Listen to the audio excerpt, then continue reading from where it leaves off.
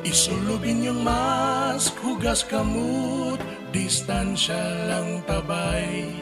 Ang curfew gipatuman, sulod na sa inyong balay. Ako ang yuon, upunganon, magiusat ang tanan.